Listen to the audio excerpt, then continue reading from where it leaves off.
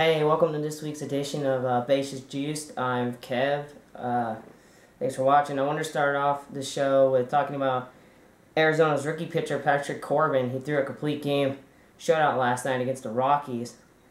He's at 7 0 now with a uh, 1.44 ERA and 51 strikeouts and 62 and a third innings pitched this season. He's just on fire.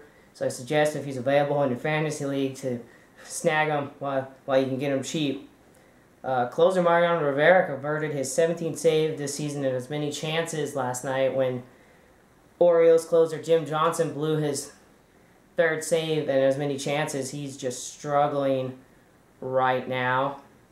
We'll keep the subject going on pitching. Cubs activated Matt Garza from the DL to today, and he's going to make his uh, season debut versus the Pirates tonight. Let's pay attention to see how he starts off the season.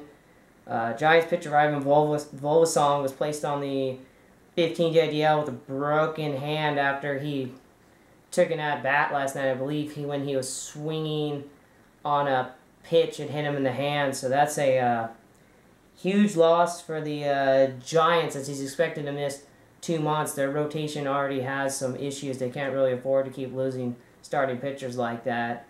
Uh, Philly slugger Ryan Howard is uh, back in the lineup tonight after he missed two games with a sore left knee. I think it was just a precautionary thing. I believe he even had a uh, MRI just to make sure everything's good. So I guess he got cleared to play by the doctors.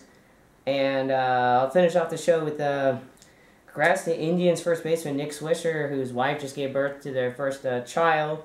Obviously, he's going to miss some time as he was placed on the paternity leave list. And uh, headed out to the Angels game tonight yet again to see my boy.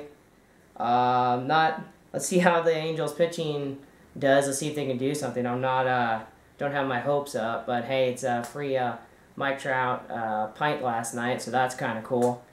And I gotta get ready for the game. So thanks for watching, guys. Closing time. You don't have to go home, but you can't stay here.